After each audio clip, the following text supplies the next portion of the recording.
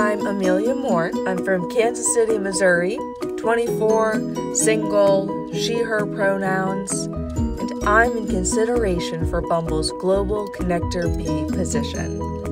I'm ready for my shot at. We're not doing the whole performative trope thing, cutting that? Okay, got it. Here's how I will use Bumble to write a news story. Outdated gender norms flood our media, sometimes hidden in storylines that aren't quite as progressive as we may initially think. I still love you, Devil Wears Prada. How do we change this?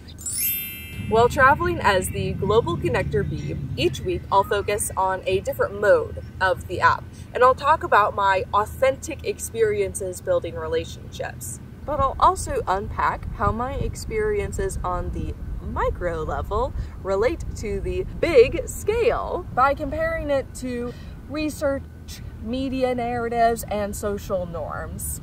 Bumble has already set the stage by building a platform focused on empowering us to connect with confidence. And I will bring my love of each of those modes. For dating, it is just flat out fun. Friendship, I know how it feels to be alone in a new environment.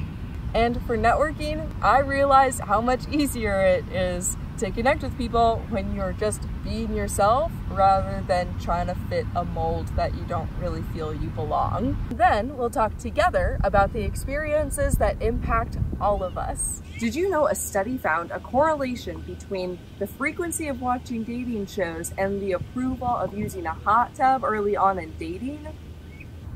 Granted, I watch a lot of dating shows and I've never gone on a date with a hot tub, so that's something that we can unpack. Bumble, you should swipe right on me so we can talk some more.